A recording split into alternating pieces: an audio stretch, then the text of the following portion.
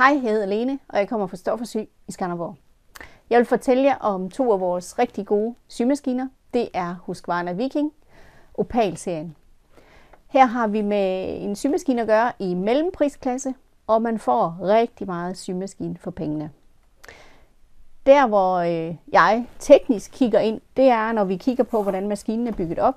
Så har vi altså et transport- og et gribersystem her, som er det samme i de her maskiner, som hvis man køber en broderimaskine til 40.000 kroner. Det siger lidt om, hvordan maskinen er bygget op.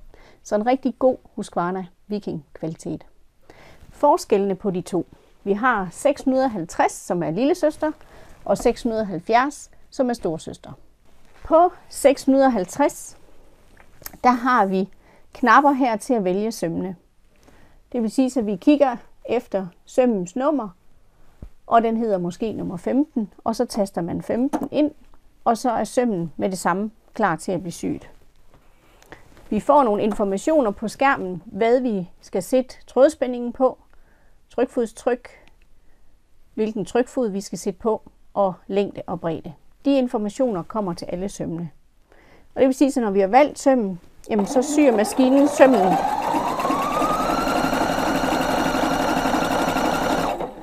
rigtig med det samme. Vi har altså den rigtige indstilling i første hug. Nu sidder jeg her ved maskinerne og har ikke monteret fodpedalen, men der er selvfølgelig fodpedal med til begge maskiner. Så på 650, så har man talserien, man vælger sømmene, og der er 160 sømme på maskinen her. Når vi er over på 670, så får vi en touchskærm, det vil sige, at der ikke er nogen talknapper hernede. Vi har stadigvæk oversigten heroppe, og vi er oppe og have 200 sømme. Her er det samme fremgangsmåde. Vi taster nummeret ind på sømmen og trykker OK.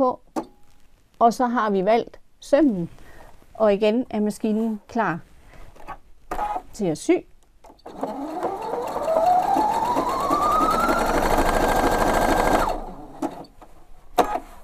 Og vi har igen sømmen, så den ser rigtig ud. Vi kan se sømmen på displayet, og den ser ud som forventet.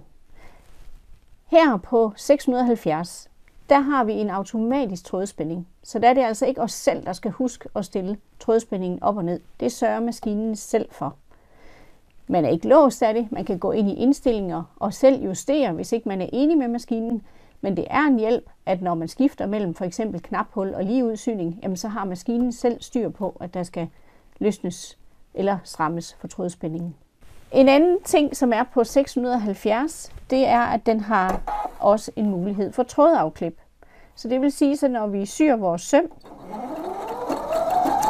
og vi trykker på saksen, så får vi et automatisk hæft, og vi får et automatisk trådafklip. Så det vil sige, at når jeg tager stoffet ud af maskinen nu, så er tråden klippet af og trukket om på bagsiden. Så jeg har et fint lille punkthæft og tråden på bagsiden. Så det er også en af de forskelle, der er på 670 kontra 650, det automatiske trådafklip.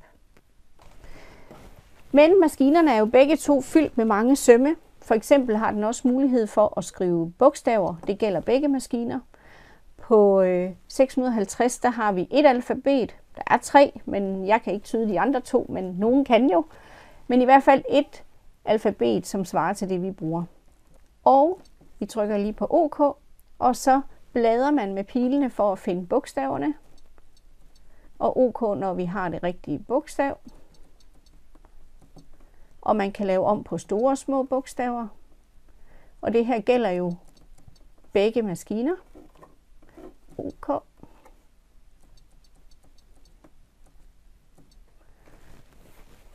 Og når vi har indkodet det, vi vil sy, så starter vi maskinen. Og jeg trykker lige min stopknap ind. Fordi så stopper maskinen efter en sekvens. Det gælder også begge maskiner. Og så har vi fine bogstaver her. Så det er maskiner, som egner sig rigtig godt til os, der kan lide at sy både tøj og kvilt og patchwork. Vi har en god ydeevne. Vi kommer fint hen over cowboysømmene. Den syr, begge to syr flot i strækstoffer. Så super god symaskine fra Husqvarna Viking i Opal-serien.